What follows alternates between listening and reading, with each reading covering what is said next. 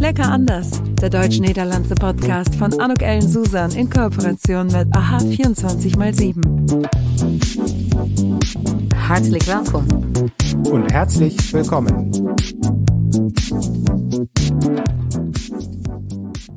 Hartelijk welkom en herzliches welkom zu dieser podcast-episode van Lekker Anders. En vandaag hebben we echt een belangrijk onderwerp, zou ik bijna zeggen.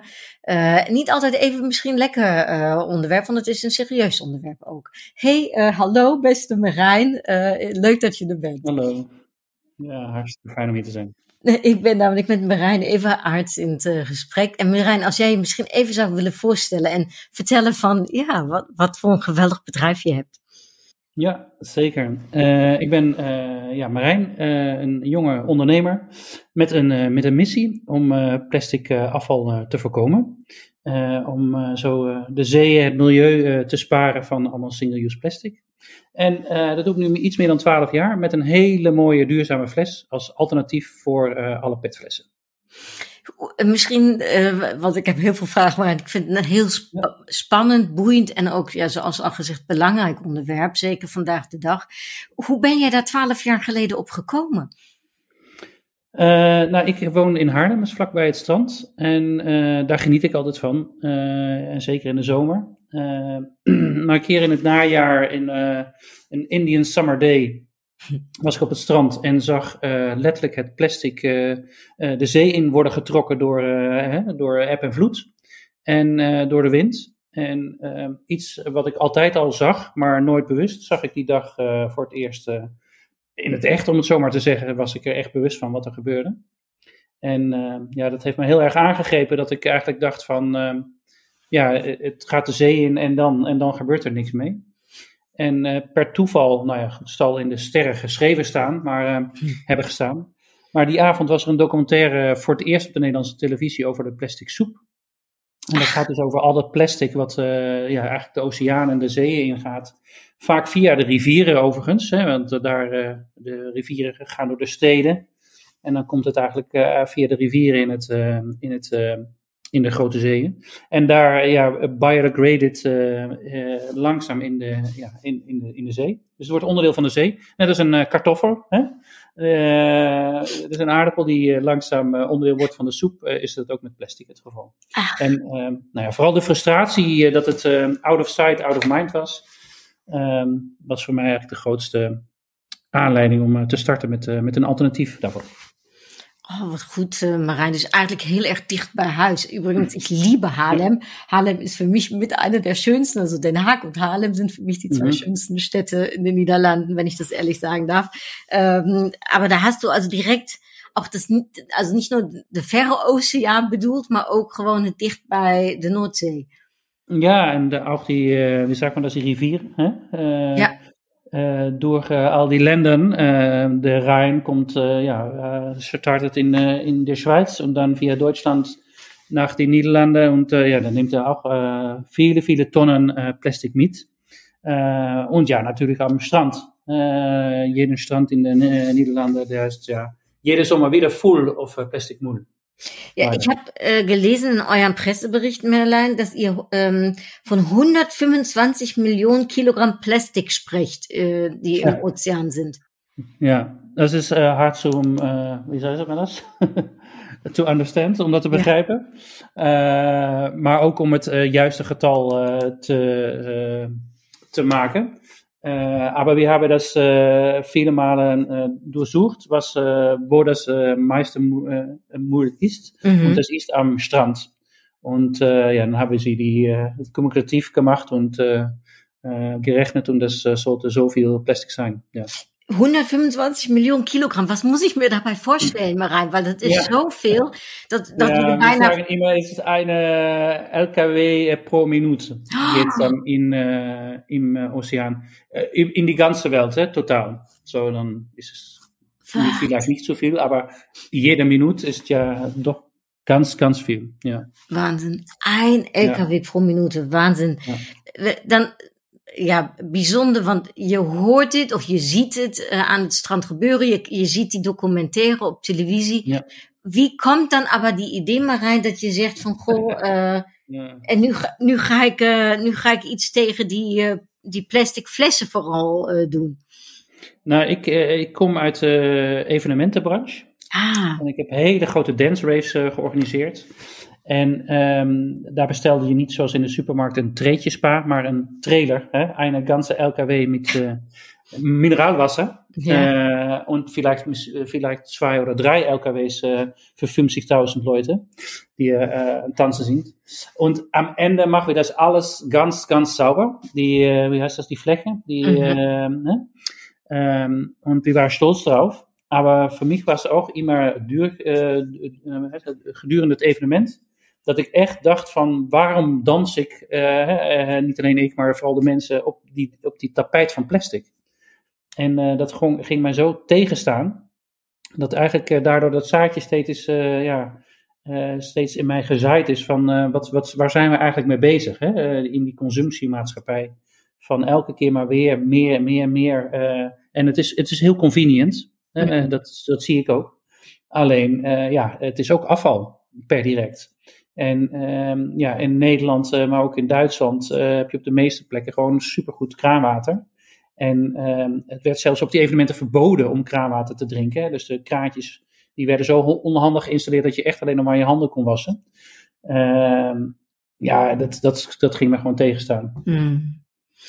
Want uh, misschien dat nog even, maar dat vind ik ook spannend. Dat heb ik gelezen, maar ik kan het niet reproduceren. Maar jij zeker wel. Hoe lang duurt het tot dat plastic uh, ja, uh, zich oplost. Zeg ik weet niet of dat goed gezegd is. Ja, dat weten ze niet exact, maar ze hebben uitgerekend dat het tot 500 jaar voor een petfles kan duren. Uh, maar we hebben ook wel gezien dat het soms al binnen enkele jaren gaat. Het hangt een beetje van de zoutgraad af en of het flesje aan de... Overigens 90% van al het plastic zinkt eerst, voordat het boven komt. Maar heel veel flesjes waar een dop op zit, die blijven drijven. En die krijgen natuurlijk te maken met uh, alle weersomstandigheden en dan gaat het wel een stuk sneller. Ehm, maar ja, eh, ondertussen breekt het wel af in kleinere stukjes. En mhm. dat wordt steeds net als die aardappel, als die kartoffel. Hè, eh, gedurende het kookproces, zou ik maar zeggen, gaat die steeds meer loslaten. En uiteindelijk wordt het onderdeel van de zee.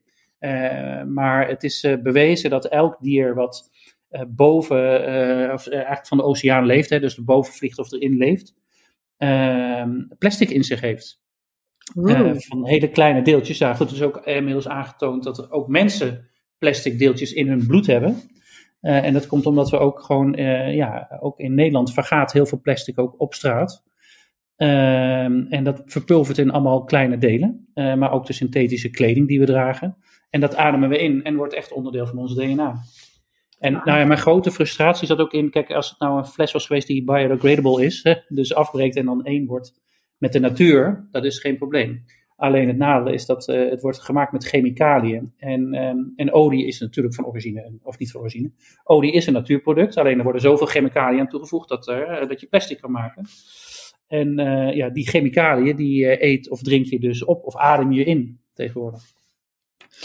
Ben jij zo'n zo'n Machertyp? Also wenn du dann sowas hast und das siehst und dann ja auch denkst, das geht irgendwie nicht so richtig mit rechten Dingen zu, packst du dan aan en zegt, oké, welke idee kan je het am besten helfen? Ben je creatief of ja, ben je, ben je een ja. ondernemer echt vanuit de zakelijke aspect? Of is het echt... Nee, ja, het is een beetje dubbel. Het is een beetje dubbel. Ik, uh, zijn, uh, ja, ze uh, betitelen mij vaak als een social entrepreneur. Ik vind sowieso het woord ondernemer vind ik altijd een beetje lastig. Wat ben je dan? Ik heb me altijd als personeelslid ook ondernemer gevoeld in een organisatie, omdat ik me verantwoordelijk voel voor wat, ik, wat, wat mijn job is. Mm. En, door die verantwoordelijkheid kun je ook, uh, ben je ook ontvankelijk voor dingen die er in de wereld gebeuren. Uh, zoals oorlog, uh, het behoud van de natuur.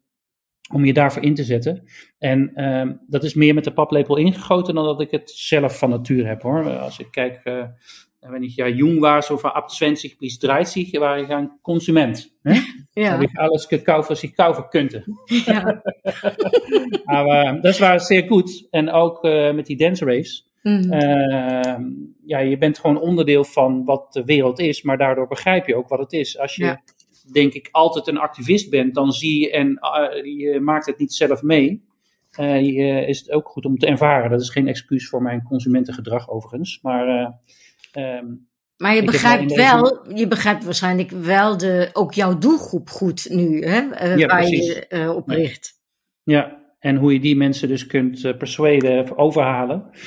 Uh, om het anders te doen. Want dat is het doel eigenlijk met Dopper. Uh, om kraanwater net zo sexy te maken als de mineraalwaterfles. Mm. Um, daar heb ik me echt in verdiept en ook over verbaasd hoe, um, nou ja, niet sensueel misschien, maar hoe mensen dat omgaan met een petfles. Dat is niet een flesje met water, dat is een, um, een fashion item maar ook een verslaving.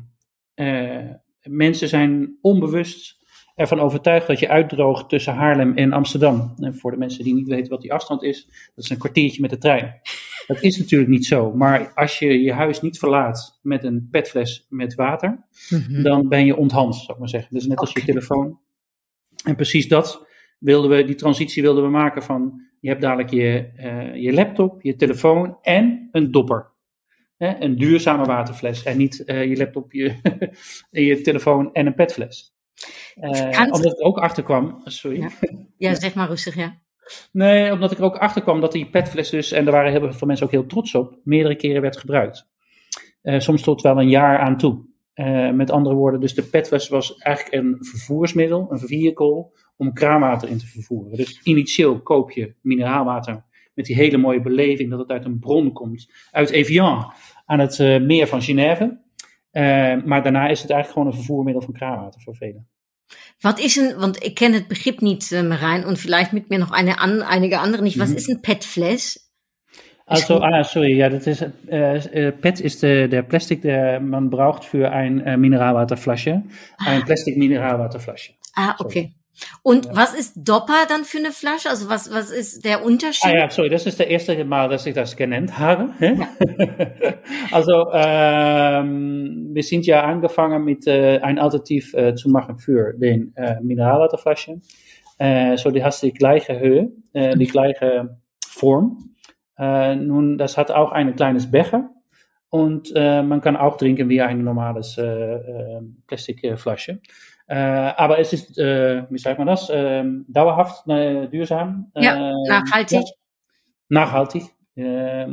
Um, weil das ist Cradle to Cradle zertifiziert. Das heißt, dass wir die volle Verantwortung nehmen für die Flasche. So, wir möchten gerne, wenn es das Ende des äh, Lebens ist von die Flasche, dann möchten wir das gerne wieder zurückhaben. So, ah. ähm, es ist nicht etwas, was wir auf die Welt äh, äh, machen und dann ist es auch, auch uh, unser Problem nicht mehr. Es mhm. ist unser Problem, was wir uh, machen.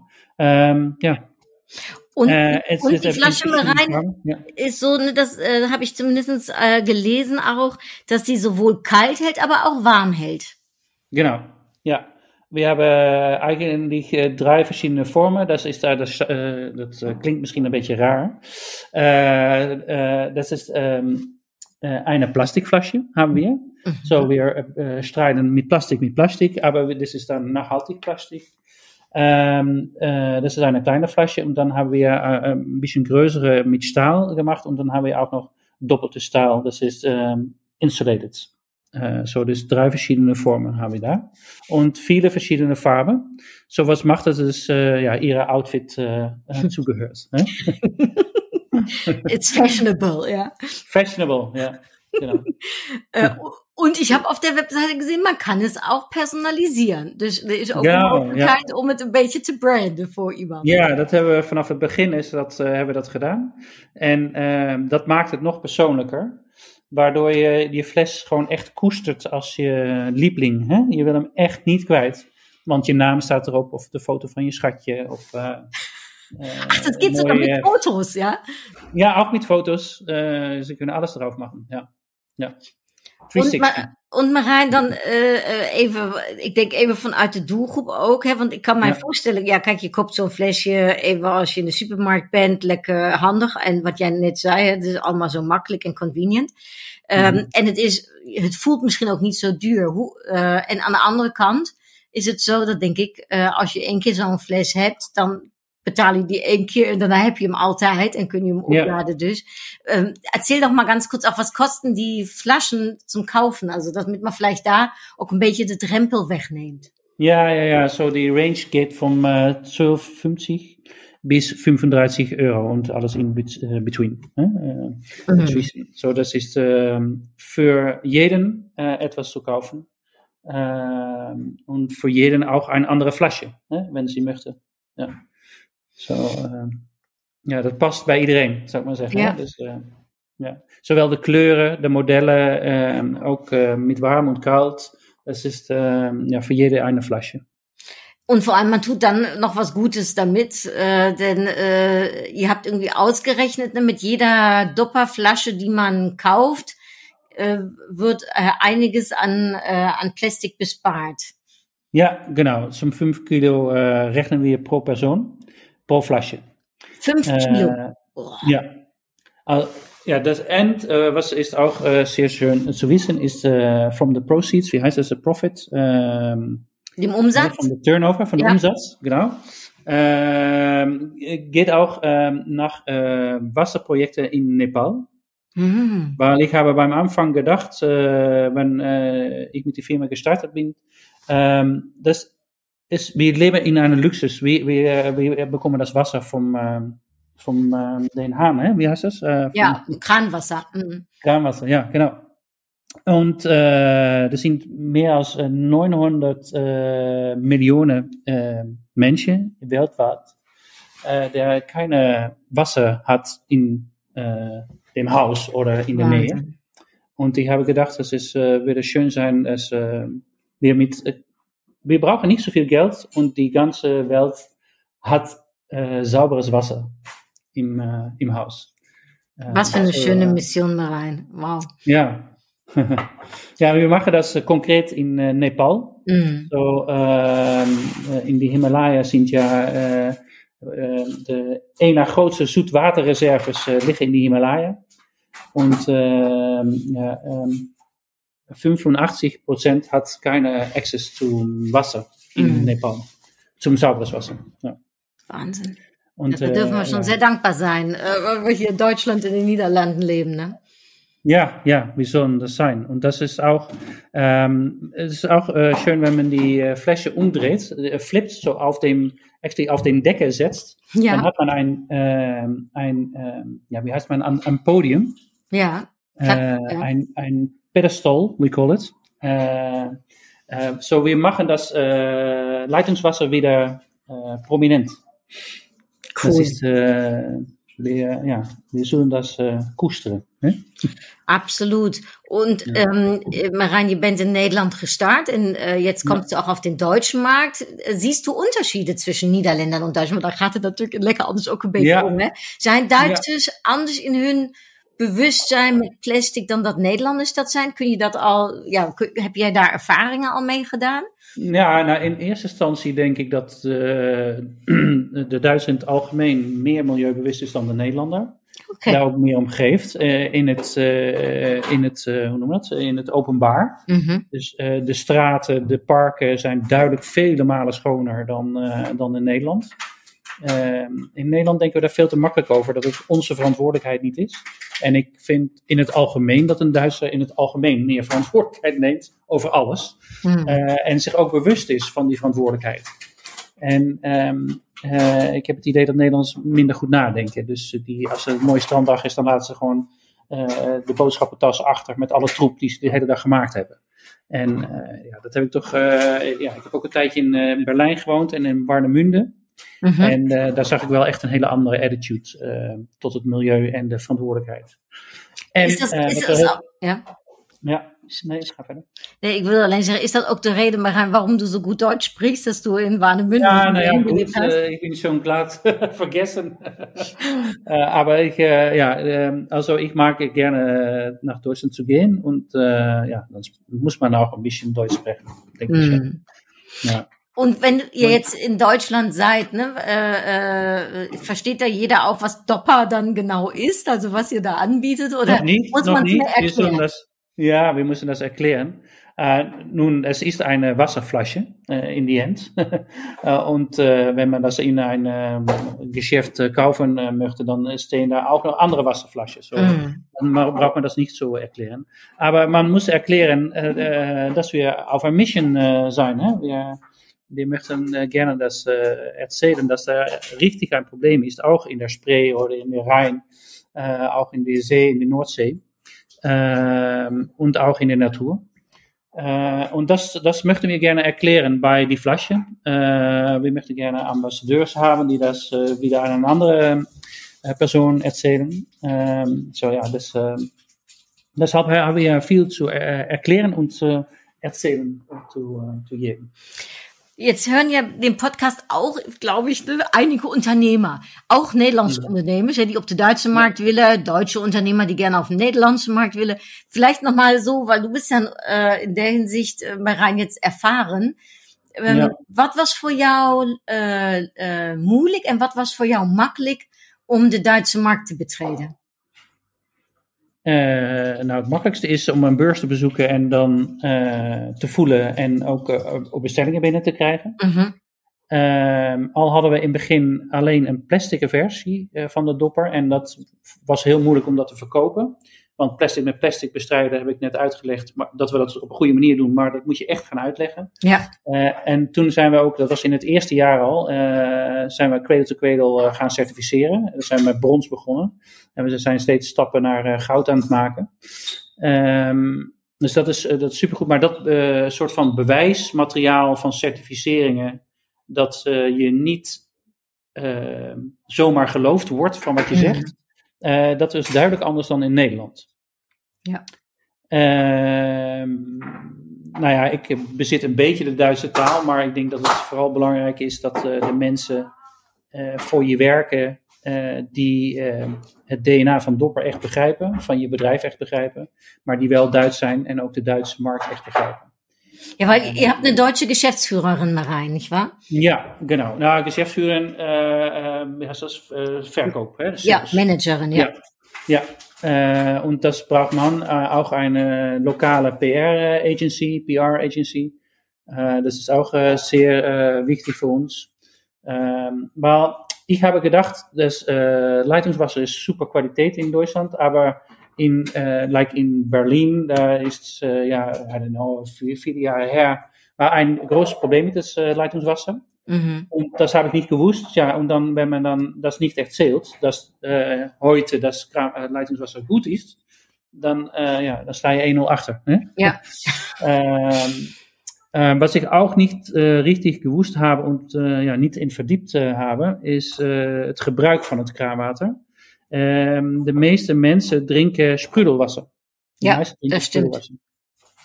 Und in äh, die Niederlande ist Sprudelwasser ein Softdrink. Ja. Aber in Deutschland ist es mehr Wasser. So, Stimmt. man, ja, so die, das Unterschied habe ich nicht gewusst. Und äh, ich habe nicht äh, gewissen, dass die Dopper nicht äh, am Anfang nicht Sprudelwasser-proof war. Oh. so, wenn man Sprudelwasser rein äh, äh, äh, macht, Ja, dann hat es, äh, hoe heet het, geleckt. okay.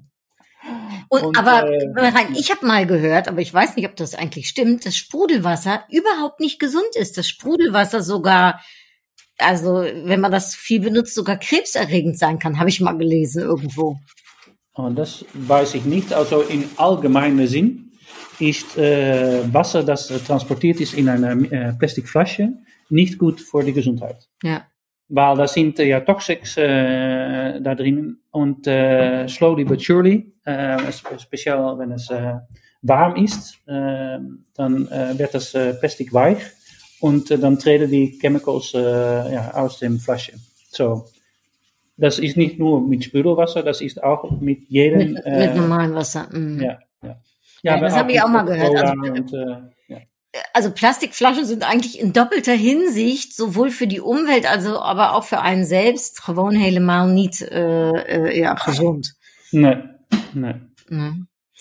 Äh, spannend, Marijn. Äh, äh, äh, erzähl, Ja. erzähl noch mal ganz kurz, äh, wenn ne, jetzt hier für die Deutschen, die Dopper jetzt kennenlernen gerade, wo Mhm. können sie Dopper finden? Wo können sie es kaufen? Also wie kommen sie damit in Kontakt?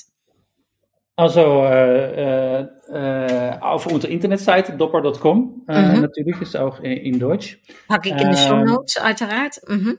Pardon? Das packe ich in die Show Notes. Dann kann jeder Ah, ja. in, den Show Notes auch Ja. nochmal darauf klicken, ja. Ja, super.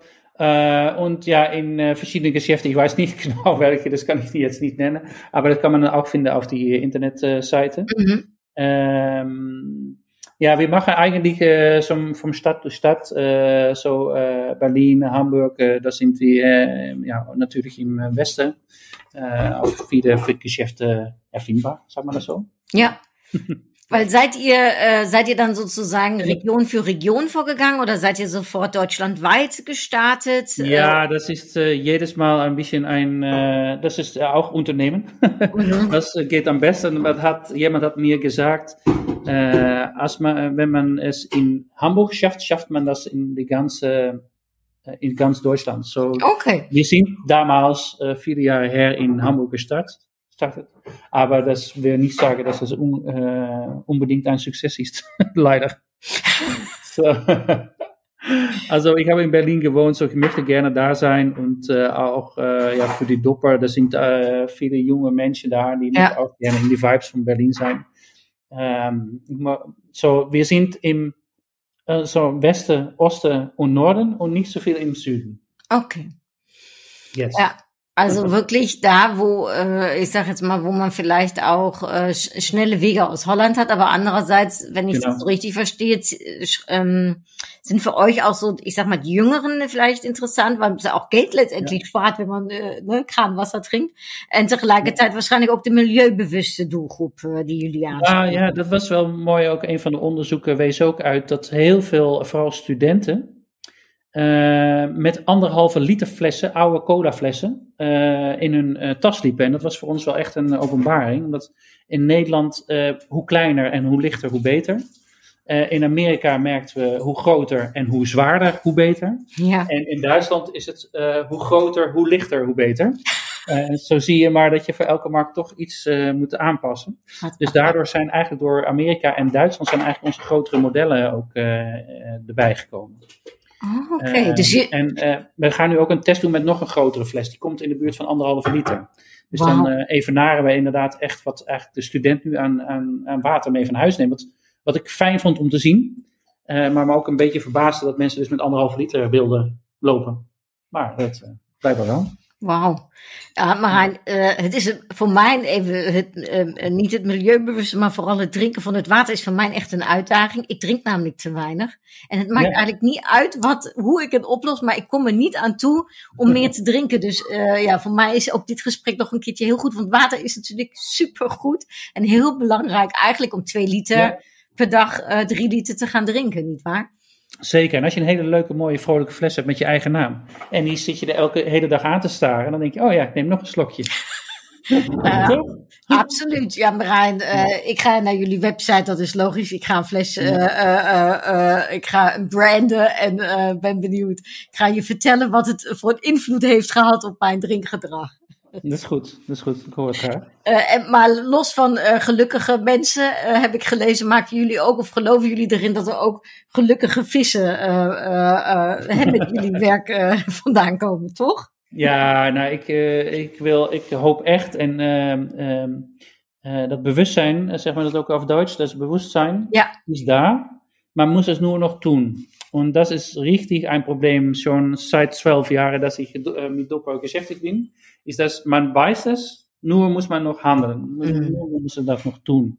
Und ich hoffe, ähm, äh, ja, het komt nu ook vanuit de overheid. Ik weet niet hoe dat in Duitsland gaat, maar vanaf volgend jaar mag je op werkplekken en in de horeca uh, geen disposables meer hebben. En daar horen dus ook uh, uh, alle plastic soorten horen daarbij. Oh. Dus geen, geen bekertjes meer met een plastic lining geen uh, plastic uh, vorkjes, lepeltjes, bordjes. Uh, maar ook geen petflessen meer. Dus je krijgt dadelijk gewoon bijvulstations. En ja, dat, dan is kraanwater gewoon een heel, heel makkelijk bijvulstation natuurlijk. En ik hoop ja, dat, in, dat het Europa breed gedragen wordt. En dat ja. we alleen maar naar dat soort alternatieven gaan. Dus ook voor je jus maar ook voor je cola. Dat je dat gewoon bijtapt in plaats van dat je dus... het vervoer is ja, de helft van de vervuiling. Nou, ja, uh, uh, dat zou ja ook voor jullie fantastisch nieuws zijn als dat ja, geweest ja, zeker. maar, zoals Evian, dat is nog om de hoek van Duitsland hè, en, en Nederland. Uh, maar we halen ook water uit Fiji, of all places, ja. maar ook uit Noord-Noorwegen. Ja. Dat kan ik niet bij. Is, ja. Dus het vervoer van, van, van mineraalwater, maar ook van frisdranken, dat zou, nou ja, dat zou heel veel uitstoot schelen. Marijn, ik ben jou zeer dankbaar. Ik denk dat dit echt een heel belangrijke podcastgesprek geweest is. Mm. Om me echt ook um, aandacht voor te vragen. Begrip, uh, um, aber auch die, die, die Erkenntnisse, sage ich jetzt mal. Ich glaube, mhm. ganz viele Menschen wissen diese Sachen, die du gerade gesagt hast, weiß man nicht. Vielleicht ahnt man das eine oder andere, aber man weiß es nicht. Also ja. äh, super, vielen, vielen lieben Dank. Und am äh, Ende meines Podcasts, rein is altijd een heel kort vraag-antwoordspelletje. ja. Uh, uh, wat een beetje lekker anders is en over Duits en Nederlandse karakter of gewoonheden ingaat. daarom auch an dich, wenn du bereit bist, würde ich dir kurze Fragen ja, antwoorden geben, ja? Ja, zeker. Um, uh, wat is het? Uh, is het kaas of worst? Haha, vegan. vegan. Ach, da, da ist ja vegan Kaas en worst. Käse geht dann ja auch nicht, ne? Ja, das stimmt. Ähm, okay, äh, gute Antwort, haben wir noch nicht so oft gehabt. Ja, und äh, Auto oder Fahrrad? Naja, Fahrrad. Und ähm, dann äh, für Joy, ja, für Joy Fahrrad. Ja, ja, das ist wichtig. Aber für äh, ja, ja, Reise leider Auto. Ja. Richtung Deutschland wahrscheinlich eher Auto, ne? Ja. Und ist es Diplomat oder bist du eher Kaufmann? Oei, Kaufmann. Uh, en uh, dan eindig ik altijd met de voetbalvraag natuurlijk. Hè. Nederlands of Duits elftal? Oh, ja, Nederland. ja. ja, dat kan Mijn zoon uh, is net in uh, München geweest. Ja. En uh, het hotel was naast het Olympisch Stadion, waar ah. Nederland in 1988 de Europa Cup won, of de, ja, de Europese kampioenschap won. Dus dat was wel een heel speciaal moment. Hoe oud is jouw zoon, als ik mag vragen? 15. 15, oh ja, dan is dat natuurlijk ja. een fantastische ja. leeftijd daarvoor. Ja, ja. ja. Geweldig. Oh Marijn, dankjewel. Ja, ik uh, kan eigenlijk alleen maar iedereen aanraden. Schaut euch die Webseite an, dopper.com und äh, lest euch durch, was dieser Mann für eine fantastische Mission hat. Und äh, ja, ich glaube, äh, mir zumindest ist nach dem Gespräch nochmal wieder bewusst geworden, wie wichtig es ist, sein Verhalten auch nochmal echt drauf äh, anzupassen. Um, dus ik verheug mij op een uh, uh, eigen branded versie, uh, Marijn. En ja. ik laat het je weten. dank je wel voor de tijd die je genomen. Vielen Dank, Anouk. Vielen Dank. Ganz viel Erfolg auf deinem weiteren Weg. Ich werde es äh, verfolgen. Ich werde immer mal wieder schauen, äh, was ihr macht. Toi, toi, toi mit allem. Und äh, ja, äh, weiter so kann man ja fast nur sagen. Ja, okay. Und allen, die uns zugehört haben, habt einen schönen Tag. Ähm, und äh, ja, äh, bei der nächsten, äh, beim nächsten Wassertrinken denkt an dieses Gespräch hier von Marein und von mir. Also bis ganz bald. Tschüss. Das war's. Tschüss. Entotrau. Lecker anders. Der deutsch-niederlandse Podcast von Anuk Ellen Susan in Kooperation mit AHA 24x7.